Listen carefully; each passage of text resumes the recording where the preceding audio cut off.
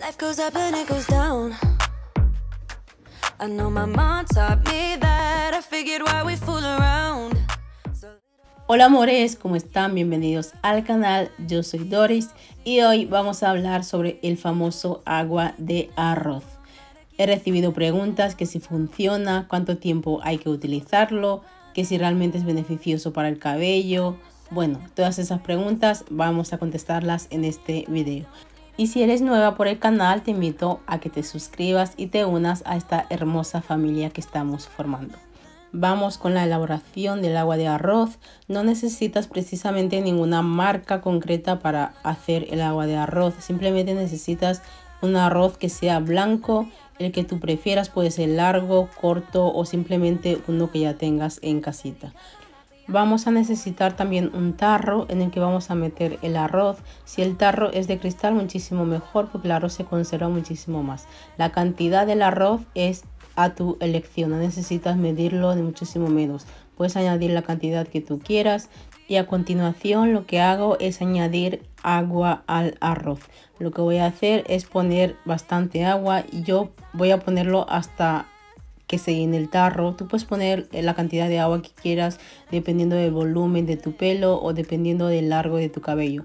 Si necesitas un tarro más grande, pues coge un tarro más grande que será muchísimo mejor si tienes muchísima cantidad de cabello. También lo que hago es añadir la piel de una naranja. Le saco la piel y le añado al agua de arroz que le aporta también un poquito más de vitaminas y aparte como que mata un poquito ese olorcito a arroz que tiene. Lo que vamos a hacer es que este arroz lo vamos a conservar en la nevera por 24 horas. También se puede usar el mismo día de su elaboración, es decir, dejarlo como reposar unas horitas, unas 2-3 horitas y se puede utilizar. Pero yo particularmente prefiero dejarlo 24 horas porque siento como que el arroz suelta muchísimas más nutrientes y te beneficias de todo eso.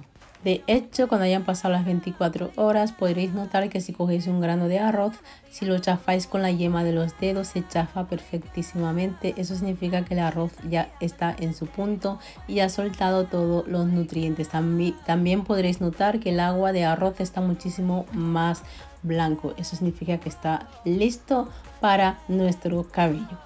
Una vez esté listo nuestra agua de arroz, lo que hacemos es filtrarlo, sacar solo el agua y luego lo transportamos en una botella spray para que sea muchísimo más fácil de aplicar para nosotros.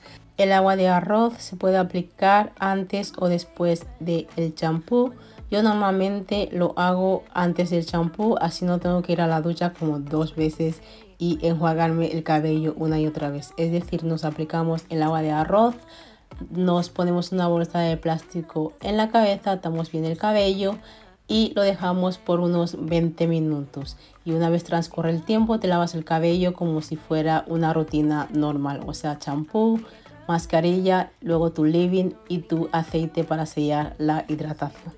Y si te lo pones después del champú, viene a ser lo mismo, te lavas el cabello, luego te lo aclaras, te aplicas el agua de arroz, te lo dejas como si fuera una mascarilla durante 20 minutos, luego te lo aclaras, te pones tu mascarilla normal y luego ya te aclaras la mascarilla y luego va el leave-in conditioner y el aceite para sellar la hidratación de nuevo. Es exactamente la misma rutina. Yo recomiendo personalmente que os hagáis este tratamiento cada 15 días, es decir, una vez al mes o dos veces al mes como mucho porque quieras o no es un tratamiento de proteína y es un poco agresivo. Realmente, sobre todo para la gente que tiene como porosidad baja, suele ser como sensible a la proteína. A mí me deja, personalmente, a mí me deja el cabello como un poquito duro, por lo que lo tengo que, cuando me pongo la mascarilla después del agua de arroz, lo que hago es hacerme un tratamiento bastante intensivo y me aplico muchísimo aceite para que pueda estar más hidratado el cabello porque de lo contrario me deja como el cabello más seco, como más duro, más enredado y este es el resultado del agua de arroz. Espero que les haya gustado, cuídense mucho, déjenme las dudas en los comentarios. Bye.